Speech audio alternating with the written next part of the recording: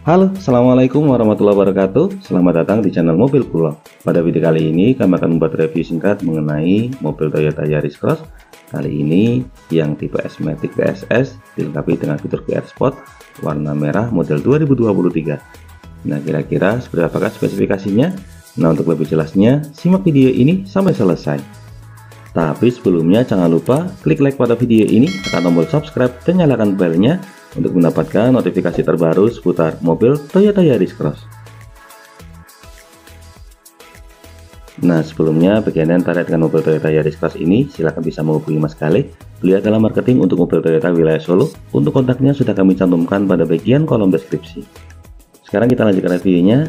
Untuk mobil Toyota Yaris Cross tipe ini merupakan tipe tertinggi untuk yang kelas bensin Sudah dilengkapi dengan fitur TSS ada sensor pengereman otomatis di bagian atasnya Nah untuk yang tipe gear sport ini bagian bawahnya sudah dilengkapi dengan body kit sehingga tampilannya jauh lebih sporty. Serta untuk fitur keselamatan untuk bagian depan sudah dilengkapi dengan kamera.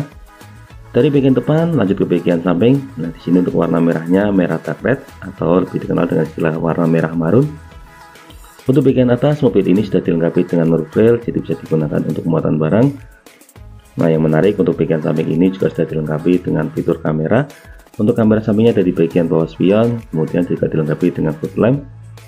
Karena ini merupakan mobil crossover, jadi untuk bagian sampingnya sudah dilengkapi dengan over fender. Untuk velgnya menggunakan velg berukuran 18 inci model Sutton. Untuk sistem pengeremannya menggunakan rem jenis sakram semua, baik rem depan maupun rem belakang. Untuk masalah pilihan warna, di mobil Toyota Yaris Cross ini warna merahnya ada dua jenis, ada warna merah terang atau istilahnya spicy. Kalau yang ini warna merah gelap atau istilahnya dark red. Kalau yang warna dark red ini karakternya cenderung elegan. Berikutnya kita lanjut ke bagian belakang. Nah, di sini untuk bagian belakang juga sudah dilengkapi dengan kamera mundur.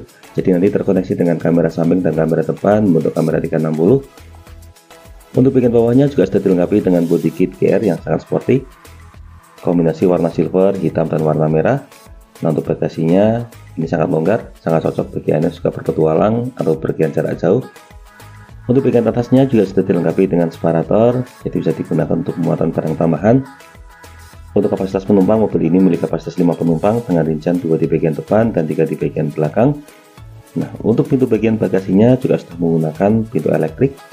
Untuk cara bukanya juga sudah menggunakan fitur kick sensor, jadi tinggal mengayunkan kaki di bagian bawah.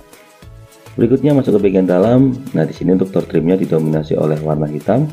Untuk material yang digunakan sudah menggunakan material bahan soft touch di bagian tengah untuk bagian bawahnya juga sudah dilengkapi dengan cup holder sebagai tempat penyimpanan botol air minum. Nah, masuk ke bagian dalam. Di sini untuk interiornya didominasi oleh warna hitam. Untuk baris keduanya juga sudah dilengkapi dengan armrest lengkap dengan cup holdernya. Kalau untuk masalah ruang kabin sudah tidak perlu diragukan lagi. Mobil ini memiliki ruang kabin yang sangat longgar.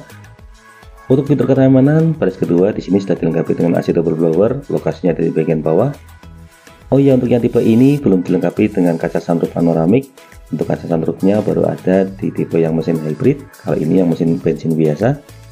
Berikutnya lanjut ke bagian depan. Nah di sini untuk head unit sudah menggunakan head unit model double tint touchscreen, kemudian pengaturan AC juga sudah digital.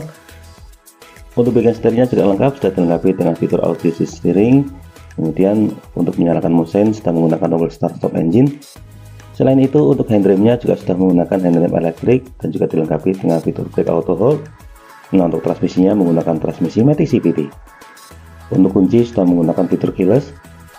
Nah di bagian middle pintunya juga sudah dilengkapi dengan sensor keyless. Masuk ke bagian dalam, di sini untuk terdirinya juga didominasi oleh warna hitam.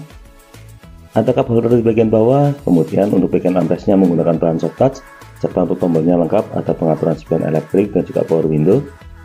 Untuk fitur keselamatan lainnya, karena mobil ini sudah dilengkapi dengan fitur TSS, jadi untuk fitur keselamatan sangat lengkap. Di sini sudah dilengkapi dengan sistem pengereman otomatis.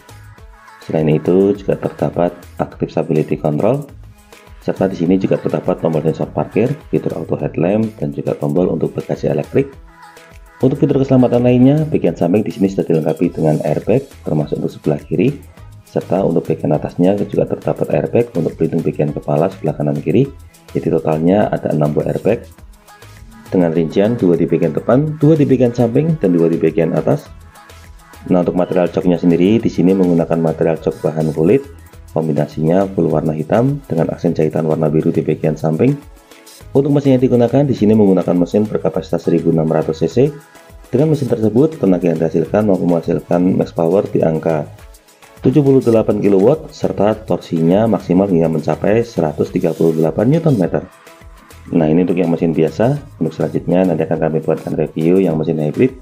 Nah kurang lebih itulah review singkat mengenai mobil Toyota Yaris Cross mesin bensin biasa yang tipe S-Matic PSS versi GR Sport warna dark red atau warna merah model 2023. Semoga video ini dapat bermanfaat terutama bagi Anda yang saat ini sedang berencana untuk membeli mobil Toyota Yaris Cross. Untuk info dan pertanyaan seputar mobil Toyota Yaris Cross, silahkan bisa menghubungi Mas Kale. Lihat dalam marketing untuk mobil Toyota wilayah Solo. Untuk kontaknya sudah kami cantumkan pada bagian kolom deskripsi. Jangan lupa untuk klik like, subscribe, dan bagikan video ini kepada semua orang yang Anda kenal. Saya doakan bagian Anda like dan subscribe pada video ini, semoga rezekinya semakin lancar, dan tahun ini bisa membeli mobil Toyota Yaris Cross semua. Terima kasih banyak sudah nonton video ini, semoga bermanfaatnya. Sekian, wassalamualaikum warahmatullahi wabarakatuh.